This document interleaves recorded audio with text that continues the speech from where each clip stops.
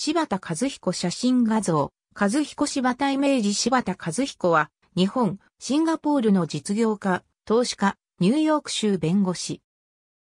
ヘッジファンドシンフォニーフィナンシャルパートナーズ代表取締役。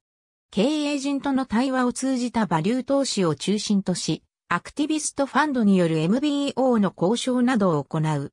1982年一橋大学法学部、卒業、野村証券入社。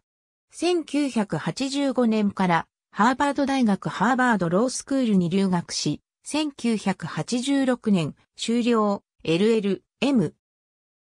ニューヨーク州弁護士資格取得。野村証券で M&A アドバイザリー業務に従事。2000年野村証券を退社し、シンフォニーフィナンシャルパートナーズを共同設立、同代表取締役。2003年に設定したマスターファンドは3ヶ月で300億円を集め、年平均17%の収益を実現。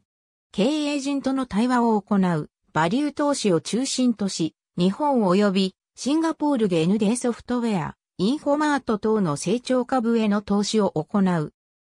コーポレートガバナンス改革などに関わり、投資顧問会社として日本で初めてファンド主導のマネジメントバイアウトを実行するなどし、ユーリーカヘッジ2014年ベストアジアンヘッジファンド及びインターナショナルヘッジファンドアワード2014年アジアンベースドアセットマネージャーオブザイヤーを受賞。ありがとうございます。